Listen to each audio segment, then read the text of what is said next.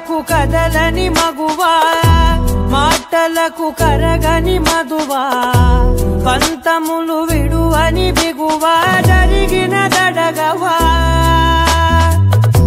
నా కథని తెలుపుట సులువా జాలిపడి నిమిషము వినవా ఎందుకని గడికొక గొడవ గడిమి